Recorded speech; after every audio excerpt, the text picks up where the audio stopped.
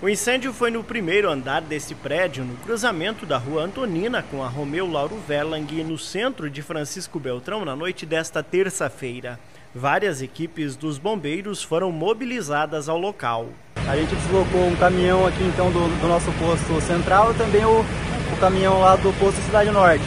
É, quando chegamos ao local, ainda havia pouca chama, o, próprios populares já haviam feito parte do combate com o uso de extintores e a guarnição terminou de, de extinguir o incêndio também com o uso de extintores e agora no momento estamos fazendo a ventilação do local para a retirada de toda a fumaça que ficou ali no ambiente. Ninguém ficou ferido. Agora uma perícia vai apurar as causas do início das chamas.